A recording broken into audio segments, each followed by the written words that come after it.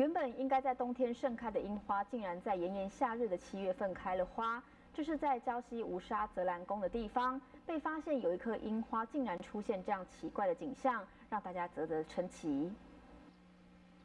在泽兰宫的庙前广场，同样都是樱花，一棵长满绿叶，另一棵却还有红花点缀。这对应该在过年前后才会开花的樱花来说，实在很罕见。连快八十岁的主委都觉得很新奇，可能是特别的征兆。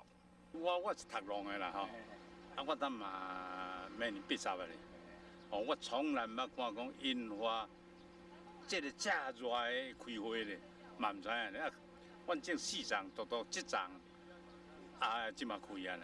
啊，阮连迄个杜鹃花嘛，时时常开一半蕊啊。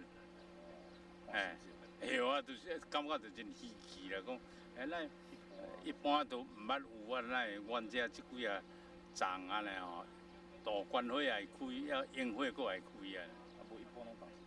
一般拢过年过啦。